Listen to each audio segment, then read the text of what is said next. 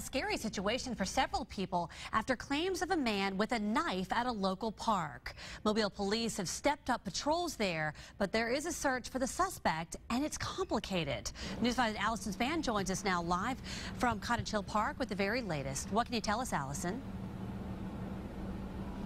Hey, Devin, it's another weird instance of someone threatening people who are out exercising in Mobile. You know, yesterday we had the runner and the cyclist who were shot by a BB gun.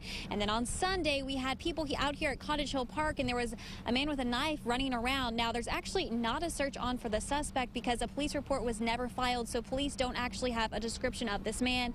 But they did tell me they have stepped up patrols in this park due to that incident that happened on Sunday. And it's even more interesting because our own Melissa Constanzer was here at the time the incident happened. Cottage Hill Park. It's known for being a family-friendly park where many people enjoy walking and running.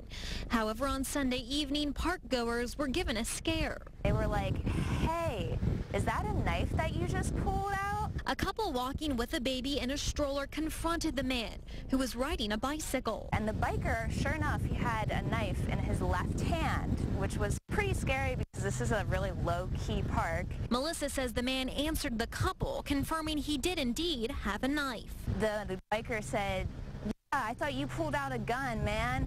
The couple explained that it wasn't a knife, but instead a frisbee they had pulled out.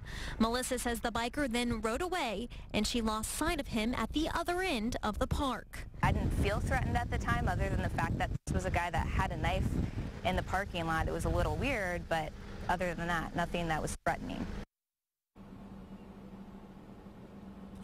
Now, again, no police report was filed in this case. However, a 911 call was made at the park around 4:22 p.m. on Sunday afternoon, and because of that, police say they are stepping up patrols in and around the park to ensure that this man doesn't show back up with a knife. For now, reporting live in Cottage Hill Park, I'm Allison Span for News 5.